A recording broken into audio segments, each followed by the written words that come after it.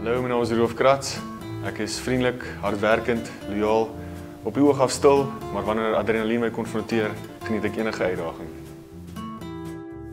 As ek nou enige land in die wêreld kon reis, sou dit definitief Frankryk wees.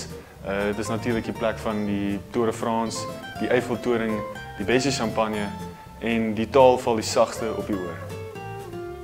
Boedies is veelsidig, maar om 'n woenie Kleopatra te wees, moet jy beslis as volg kan optree.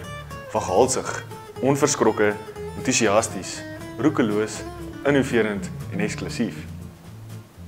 Ek moet my as Centurion wees, want ek verteenwoordig oor Centurion se lese en ek maak altyd vir die heel hoogste. Madame et monsieur, inoubliez pati vuti puma. S'il vous plaît, in 'n plain Afrikaans, onthou asseblief om vir my te stem.